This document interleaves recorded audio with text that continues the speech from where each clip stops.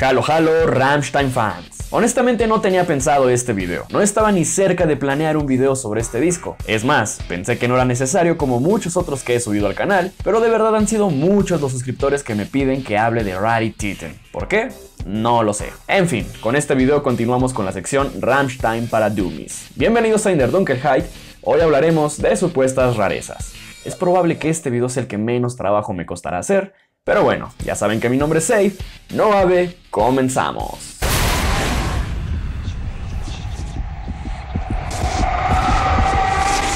Para empezar, creo que el error principal de algunos fans es pensar en este disco como un lanzamiento en solitario o un lanzamiento especial para dar a conocer canciones de la banda que nunca fueron lanzadas. Esto no fue así. El disco Rarity no fue lanzado en solitario, no cuenta como disco de estudio, ni tampoco incluye rarezas como su nombre lo dice. Ok, puede que para una persona que no conoce a fondo a la banda, que apenas está familiarizando con ella o solamente ha escuchado los discos de estudio, estas canciones pueden parecer raras, pero no, la verdad es que no lo son. Cada una de estas canciones bueno, excepto una, pero ya llegaré a eso, fue lanzada en singles, ediciones especiales y demás material de Rammstein. Ya he hablado en distintos videos de muchas, si no es que todas las canciones que vienen en este álbum. Es más, hace poco más de un año subí un video en el que hablaba de las canciones de los discos que se lanzaron para conmemorar el 21 aniversario de la banda. Ahí, por supuesto, hablé de Rari Titten. Pero aquí vamos de nuevo, para que no queden más dudas. Esta colección fue lanzada en el año 2015 e incluye una remasterización de los 6 discos de estudio en formato vinil y sumado a el dichoso Rari Titan. Este por su parte contiene dos viniles con 16 canciones de la banda, que como ya dije, fueron lanzadas previamente en algunos singles y versiones especiales de los discos. De esta manera tenemos Your Rider, canción que se remonta a los inicios de la banda y lanzada en 1997 en el single Engel Fan Edition.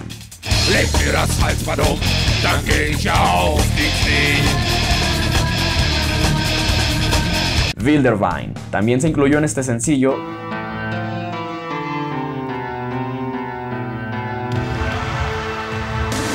y además la pudimos escuchar en el Live House Berlin.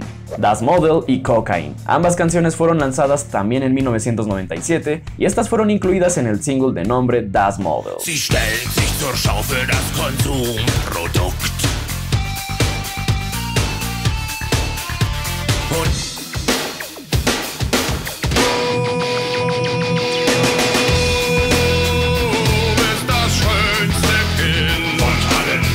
Stripped, el cover que la banda hizo a Depeche Mode, lanzado en 1998 e incluida en el single del mismo nombre.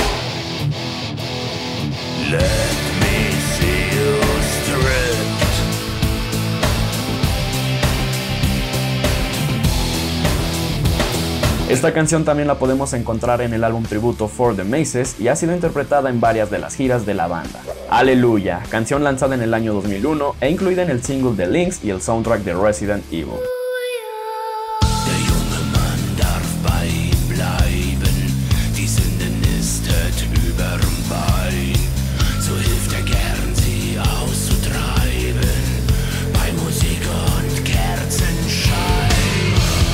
Al igual que Stripped, ha sido parte de más de una gira de la banda. Mein Brand versión piano y Give Me Deine Augen, lanzadas en el año 2012 y bueno, evidentemente en el single de Mein Brand.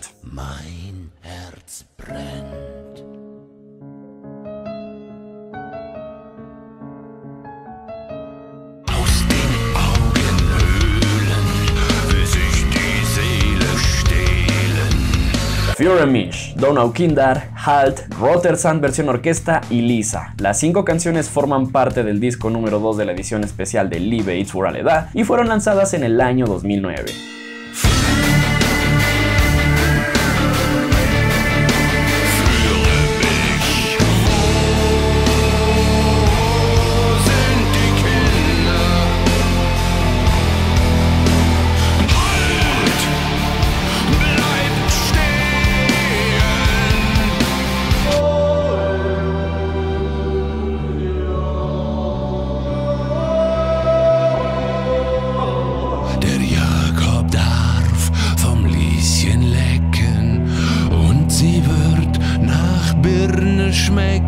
Mainland y Vergissens nicht, ambas lanzadas en el single Mainland en el año 2011.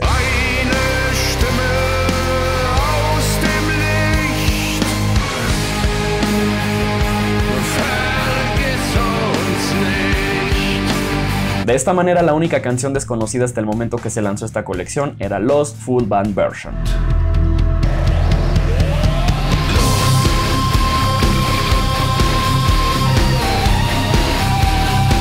La versión original de Lost fue incluida en Rise Rise en el año 2005, pero la versión de Rarity Titan tiene un sonido más pesado, además de que cuenta con una letra un tanto diferente.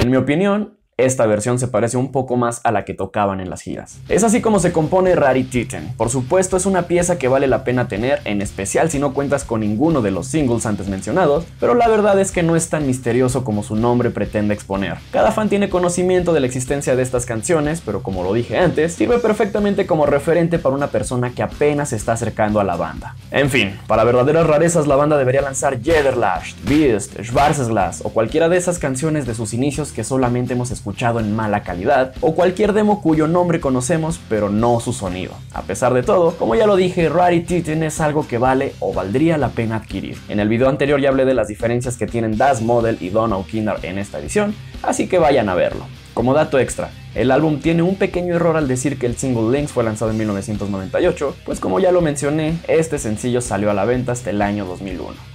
Eso ha sido todo por el video de hoy, ya saben que si les gustó pueden regalarme un like y compartirlo con sus amigos. No duden en suscribirse a mi canal y seguirme en las redes sociales con los nombres que aparecen en pantalla. Cuéntenme, ¿cuáles son sus canciones favoritas de Rari Titten? Y nos vemos en otra ocasión con un nuevo video. Ya saben que mi nombre es Safe, no ave, out.